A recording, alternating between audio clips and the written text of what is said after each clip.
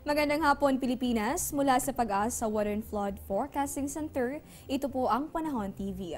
Pansin niyo po bang hindi na gaanong maalinsangan kapag gabi at mas masarap na rin mag-extend ng tulog kapag umaga?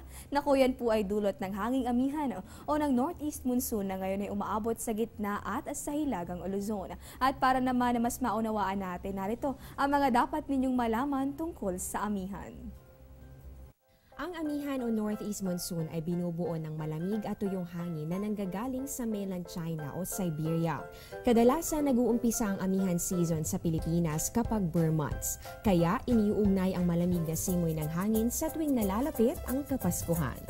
Kahit walang snow sa ating bansa, nararamdaman natin ang unti-unting paglamig ng panahon, lalo na tuwing gabi hanggang madaling araw dahil sa epekto ng amihan.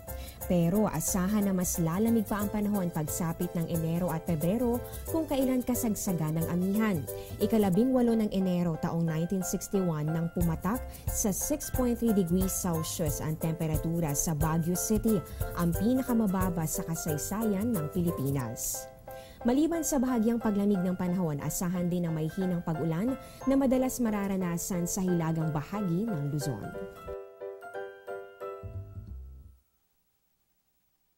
Diyan lamang po kayo magbabalik pa ang Panahon TV.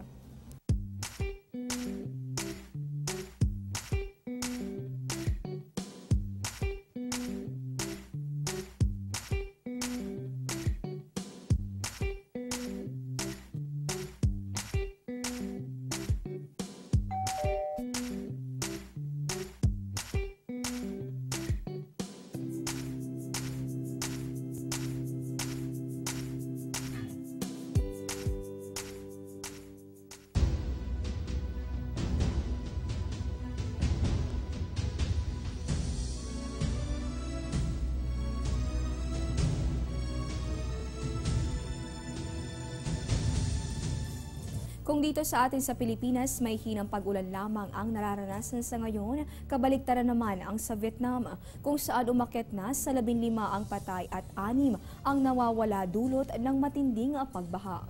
Noong huling linggo pa ng Oktubre nagsimula ang mga pag-ulan at pinakamatinding na apektuhan ang bahagi ng northern at central coastal regions ng bansa.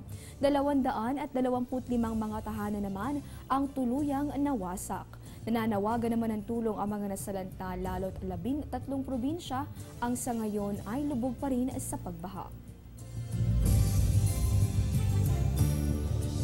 At yan po muna ang latest mula rito sa Pag-asa. Para sa Panahon TV, ako po si Desiree Jonio. Magandang hapon po sa inyong lahat.